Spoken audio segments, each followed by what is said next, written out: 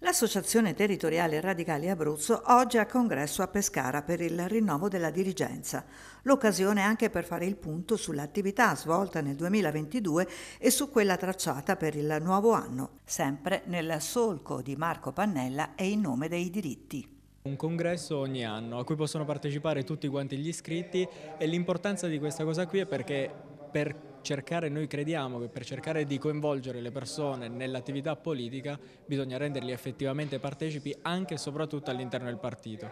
Eh, la nostra è un'associazione, Radicali Italiani invece l'associazione italiana è un partito vero e proprio e tuttavia anche sui Radicali Italiani ogni anno si tiene questo congresso. È una peculiarità radicale questa, non i, tutti i partiti tengono congressi annuali per il rinnovo delle cariche, noi per convinzione di una forma di partito che sia effettivamente democratico al proprio interno, ogni anno rinnoviamo queste cariche e diamo la parola a tutti quanti gli iscritti dell'associazione e del partito a livello nazionale. Marco Pannella era un po', è, è stata e continua ad essere l'anima radicale e di tutta quanta la galassia che appunto come sottolineato si è disgregata e che probabilmente anche per l'assenza di una personalità forte come quella di, di Marco, così carismatica, eh, eh, si è trovata un po' vedova, un po' no? eh, assente del proprio padre crediamo che il lavoro che debba essere imbastito sia proprio quello di cercare di unire le forze e il referendum eutanasia dell'anno scorso appunto ha sottolineato questa volontà quando più Europa, Radicali Italiani, l'associazione Luca Coscioni che è stata la promotrice in primis della,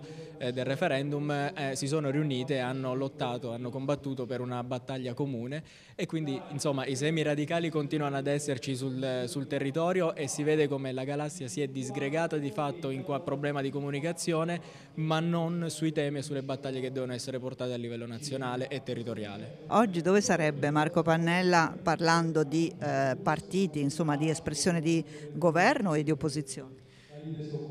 Bella domanda, non è facile dare una risposta. Marco era sempre imprevedibile riguardo alle scelte che prendeva di volta in volta. E, onestamente non ho idea, sicuramente non dalla parte di chi non difende lo Stato di diritto e chi eh, mina continuamente lo, la democrazia italiana e la democrazia in genere. Mm, sicuramente non sarebbe da quella parte lì.